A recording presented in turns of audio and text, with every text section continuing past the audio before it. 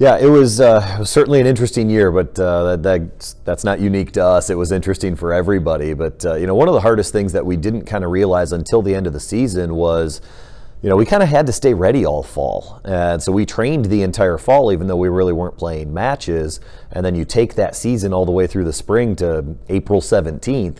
It was really kind of like playing an eight-month season, and you know, by the end heck, even I was exhausted, you know, so I can only imagine where, where the athletes were in terms of just the number of reps and the and the body, you know, keeping up with it and just trying to stay focused for that long. Honestly, humans aren't made to do that, you know, so that length of season to hold it together for that long and, and do as well as we did was super impressive, but it was a huge challenge. Yeah, I'm, I'm really excited. Uh, you know, we, we've got some continuity with uh, Crystal Puente coming back for her uh, third year with us, and uh, she, she's just been an amazing addition. Um, you know, she's she's got a huge heart and huge knowledge of the game and great energy that she brings to the gym. And you know, she's just one of those people that I can say, "Hey, can you go to that court and work with them on this?" And I'm, I don't, I don't really have to plan that. She knows her stuff and is super independent. Has a great voice in the gym. Uh, so she'll be back as our as our lead assistant. Uh, Jesse Esparza will be back again as well. Uh, he was a volunteer that uh, you know he's a really good player, good athlete, and uh, good presence around the gym. Really calming presence around the gym, um, and has been really invaluable to us as a helper the last couple of years. So he is now uh, as, as part-time staff, not just volunteer. So really happy to uh, to reward Jesse with that. But uh, he loves being part of the program, and and our athletes uh, our athletes really respect him. Um, and then we're bringing on Raul Bernal, um, who you know, he's been a friend of mine and been in the, he's a really familiar name in the San Antonio volleyball community through high school and club. And, and he was here several years ago uh, as an assistant. So uh, we've been friends ever since I moved down here through the club ranks and uh, just a really good eye for the game, good rapport with the, with the student athletes, and uh, will really enhance what we can do with our, uh, with our JV squad. And uh, his help with varsity will be really neat as well. He was an amazing addition as well as a manager. Um, that's uh, that that was the first time we had really had a manager that was you know, brought in to do that. We we specifically went out and recruited her. We knew she was the manager at Brennan High School, and I had huge recommendations from the coaching staff there, and we actually recruited her to come be the manager here, and she was fantastic. So just helps out with so many of the things that honestly take uh, from our plate, you know, as coaches when she's helping set up the meals and you know keeping stats on the bench and helping shag and keep score during during practices and getting the next drill ready. Just those things that, man, if you don't have those, your whole practice and operation can grind, grind to a halt under those the little minutia things that she does. So, yeah, she's she's friends with all the girls in the program, and she's got a healthy respect from the coaching staff, and yeah, it's it's been an amazing thing.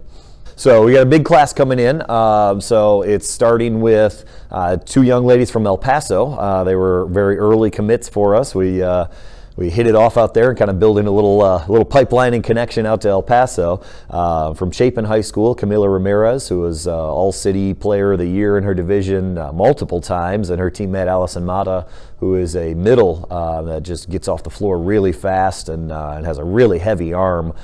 so we're looking for big things from both of them. Uh, Tina Trevino out of uh, Laredo United and Alamo Volleyball Club uh, was a big get for us. You know, she was on Alamo's top club team there for several years, and you know, she's a really familiar name around uh, around the city, both San Antonio and Laredo. And uh, you know, obviously, we graduated Alyssa Marquez and we graduated. Uh, um, Amanda Esparza, and uh, so we did have some need at uh, defensive specialist, and uh, Tina will be ready to compete right away. Uh, Dalen Mann was a, was another one that we added pretty late. We were so happy that one worked out. Uh, she's a, a, really versatile hitter in the front row uh, from Steele High School, and uh, she can play all three positions in the front row, so it really gives us some flexibility there. Um, uh, Julissa uh, Casas from Lee High School here in town, uh, another DS who just plays super hard and was a really natural fit uh, for us in the gym, uh, personality wise, and just uh, we, we, never have to worry about her energy and, uh, and, and, where her heart and head is at. Uh, Arden Cantwell, uh, Daisy Cantwell's younger sister, uh, is also coming on. She played at Johnson High School and Force Volleyball Club, just like her sister. So uh, she's coming in as a as another DS. Really good ball control kid that can hit in a pinch for us if we need her to. So that that was a really cool pickup to to get Daisy's sister and have both of them together. Um, Giovanni Hanspard was our was our last addition here, uh, so things worked out. Giovanni was a really nice setter for Harlan High School here in San Antonio, and uh, got rave reviews from her coaches. And she came to a couple open gyms, and we're like, oh yeah, definitely. she was just a natural fit. Kind of looked like looked like she was a saint already. You know, the first time she walked in the gym, and she's got really good hands, really quick feet. Uh, can't wait to work with her and uh, and uh, continue her development. Uh, Rebecca Bustamante has a long history in the in the Red River Athletic Conference, not just uh, not just OLLU. She's got family that that uh, has played at some of our rivals, and uh, she's a setter from Laredo Alexander.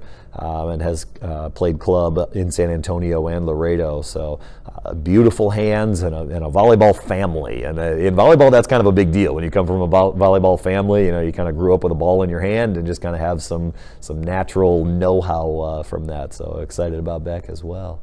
Natalie Escueda uh, is, a, is a really neat pickup for us as well from Edison High School. She's our first, uh, first young lady from Edison. Uh, so she's another versatile hitter that uh, can hit outside, right side, or uh, middle. We, we joke about her being kind of Sadie Jr. because uh, she, she kind of plays that same style where she's a little bit undersized but kind of floats in the air. And so we have been joking about that in the gym. So as soon as she picks up a little bit more heat on her arm swing, she could be a pretty nice weapon for us down the road. Yeah, we graduated a, a, lot of firepower, but we've got a lot coming back. You know, obviously, uh, Tijana will be uh, senior this year. Kind of it feels like she's been here forever, but we don't want to lose her. We wish we could keep her for a few more years. But uh, so she'll be back, first team all conference, obviously, and, and, a huge force in the middle for us and, uh, and a great leader. Uh, Sadie's been, uh, Sadie Ballesteros, of course, from Southwest High School, will be a junior this year. Now that feels like that's gone super fast. so, but uh, yeah, Sadie being a junior, she's been first team all conference two years in a row, and we're planning on that again. Uh, you know, the interesting part with Sadie is what to do with her. You know, she's really versatile and can hit all three positions across the net. So, you know, she's been super successful in the middle, but uh, the idea of moving her to a pin and uh, getting her the ball a little bit more is, uh, is really something we're toying with right now. So uh, it'll be interesting to see how we use Sadie this year. And, uh, and obviously, the, the cool thing about her is she's great with whatever we want to do. So she's, uh, she's just one of those great team players. Um, yeah, Cassidy Haller was freshman of the year in the conference last year, so we're expecting big things from her on the right side again. Just gave us a really uh, great presence. You know, after we graduated Rivera, you know, our lefty, we had to bring in a new lefty, and, uh, and Cassidy did a great job with that. So uh, we, we're, we're going to need her to step up huge. You know, Daisy had a great season last year. Daisy Cantwell as a freshman, uh, kind of filling in uh, when we had injuries and COVID and, and, different things go on, and, and she did a, such an admirable job uh, when she had to fill in for varsity and she's taken over a huge leadership role uh, within the team over the course of the summer. Um, Madeline Strelzik's probably going to be a huge key for us as we graduated, and quite honestly, the, the best setter, you know, you, um, by, by numbers and, and everything and accomplishment uh, that OLLU's ever had. So that's going to be a huge question mark for us. But, you know, Maddie got in several matches last year, totally held her own, and, uh, and has shown that uh, she's ready. And, and she's also one that stepped up in her leadership and has joined our leadership training group and has taken on more of an active role in that. So we're excited to see what she can do. Uh, and the last would be uh, Actually, there's two more uh, in the back row. Um, Alyssa Gallardo uh, was really good in the right back for us, uh, played a lot of serve substitution for us, but lightning fast back there and really stepping into that kind of mentor role as a senior. Um, she'll see the floor a lot more this year in, in regular rotations and uh, will be very valuable back there. And then Megan Montalvo, a freshman last year, who we saw a lot of on the floor. She earned a starting spot in the back row, and um, you know she's really taken on that that vocal leader role. You know when we when we break it down and huddle up, she's the one organizing and calling out the cheers and different stuff like that. So um, so she's added that to her game in addition to obviously the natural development on the court. We're really excited about this. We were looking at doing something last year, and then obviously everything fell through with COVID. So, you know, getting teams to come all the way south is, is pretty difficult because we're not really on the way to anything else, you know. So, in the NAIA, I should say. So, it's, it's kind of hard to get uh, teams to come down. So, you know, we put together an event early in the season and kind of promoted it to teams around the country, saying, hey, San Antonio is a great place to visit. You'll get some good volleyball. We're doing a barbecue at one of Jason Dady's restaurants. And, you know, so we're, we're trying to make it a whole experience. Yeah, Yeah, we're headed out there. We've got a great relationship with them. We've played them every year, uh, either here or there or both. Uh, they're a really good program, and their their coach has done a wonderful job out there. He's a really good guy that I respect a lot. So we always have really good matches with Wayland, but obviously it's a long trip, so we always say, hey, who's who else is in town? Would they be willing to play us? So Central Christian and Langston are also going to be out there that weekend, as uh, so it's conference matches for them, but they're welcoming us in to play those three teams out there. So it was really, you know, kudos to them for allowing us to do that that. Sometimes teams are kind of finicky about letting you join a conference thing, but uh, but they were all willing to do it. So we'll get some good matches out there uh, before we move into our conference play. Yeah, it's going to be an entirely different universe from last year when uh, you know a lot of teams sat out, and uh, you know we've uh, we've added some teams to the conference. Uh, Louisiana College and then uh, Xavier, uh, New Orleans is going to be a huge addition to it. they've made nationals the last few years here, and their coach is a you know, kind of a, one of those coaching legends that uh, that you love going up against because uh, it's always a challenge, and you know they're they're going to put uh, quality out there against you. Uh, so that that's going to be a major change. You know, we, have got nine teams in the conference now, so we'll play a full conference schedule. Um, you know, we, we were fortunate enough and uh, earned it last year. We're going to have to step it up uh, another notch to earn it again this year. There's, you know, before.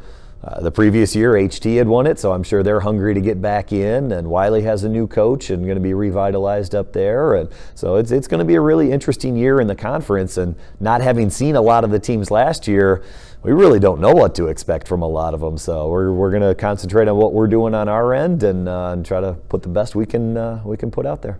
Absolutely, it's it's a it's a bedrock of, of what we do, and, and it starts with recruiting. Quite honestly, you know, if uh, if we're getting emails and reaching out to kids, it's one of the first things we ask about is uh, you know the the academic side of things, and you know if, if uh, we we need to see that not just from an academic side, but it, it also speaks to character, you know, because you can earn the, the the grades by discipline and character. So we feel like that translates onto the floor. So we recruit high academic kids to begin with, and also that kind of makes our life a little bit easier because normally good academic kids you don't need to be on them quite as much, and you know. But uh, you know the the culture in our program is one where you know, everybody's kind of getting their stuff done in the classroom, so you're kind of the weird one if you're not. And you know, so I believe in positive peer pressure, and you'll see it on the road when we're on the bus. We have study halls on the bus, and we'll do a, you know, if we play at one o'clock, we'll do a study hall from you know nine in the morning till ten before we leave to go to the the venue and things, and and hearing you know the upperclassmen kind of tutor and mentor some of the some of the younger and you know they all have classes together so they'll they'll put together study groups and whatnot. And so it's been uh, it's been really neat to be a part of that and kind of uh, encourage that. But uh, you know to be honest we haven't had to do all that much. You know bring in the right people and put them in the right environment and it, it, it kind of handles itself. We're there as a backstop but I love that they own it on their own yeah, so uh, you know when, fans come uh, in the fall, the first thing that's probably going to jump out is the new floor. Uh, we, we over the course of the summer, we finally got our floor. I mean, we sanded it down to the boards. I know I, if you don't follow us on Facebook, follow us on Facebook. But uh, we posted pictures of it, literally sanded down to the boards, where you, there was no graphics or anything on it. And they resurfaced it, repainted it. It looks beautiful. It, it really pops. So it, it's really cool, and, and it plays really well. Like your feet aren't slipping all over the place on the floor and whatnot. So it's really cool. Uh, we're excited for the scoreboard project coming in. Uh, we don't know what the what the end date is because it's still being manufactured and whatnot. But uh, so maybe this season, fingers crossed by conference tournament, but maybe not. Uh, but it is on the way and it's been ordered, and it's uh, we're really excited for the capabilities that's going to give us with the video board. Not only during games, but we can use that during practice as well. And there's some really neat stuff there for training that we can do. Um, you know, we're, we're going to have uh, an apparel table. Uh, we, we hadn't really done that uh, too terribly much in the past where, you know, when fans come in, we'll have OLLU volleyball shirts and gear out there uh, for them to buy in addition to the online team stores that we do. So I know a lot of people had asked about that and we're, we're getting that done. And then I'm actually really excited that uh, our dining services, Chartwells, has taken over our concessions. So our concessions will be very consistent and, you know, be, uh, be run by a, a company that does dining services on campus. So we'll have a little bit more selection, a little bit more consistency with that for, the, for a better fan experience.